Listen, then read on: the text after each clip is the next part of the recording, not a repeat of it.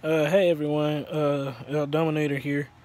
Um, I did want to tell you guys that I about to, that I got this Xbox One X. Uh, didn't tell you guys the week of, but uh, what was that? I think it was three weeks ago. I went out of town, uh, to Florida, and my mom surprised me. She uh asked me, did she want to get the Xbox for me, and I said, uh, yes ma'am, that's fine. So she got it for me, and boop, voila. See, well, it's back behind the TV. But uh, yeah, as you see, uh, I got my games to go with it, and we're in the process of moving as well. So uh, just to let you guys know, the uh, finna get everything back on, finna get everything back on track.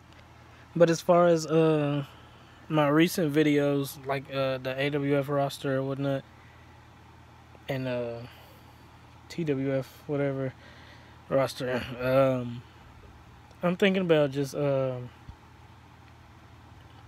thinking about just making new people, and uh, I'll bring back Roy Anderson and you know the Dominator. I can't ne- I ne- I can't never leave the Dominator. He can't leave. Uh, Thunder can't leave. You know. Got to stay because you know because it's you know my trademark. So uh yeah. Well, uh, I do want to let you guys know that I will be adding new people to uh, WWE 2K20. So, uh, with that being said, so uh, yeah, and I'm also trying to get all my games on this on my Xbox. Uh, this one right here, the Xbox One.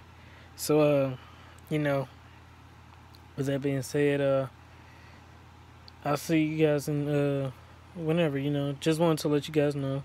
So uh, yeah. Also, uh, stay safe.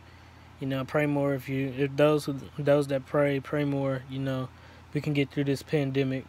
Uh, and wash your hands. So uh, that's uh, that's it. So uh, love you guys and uh, take care.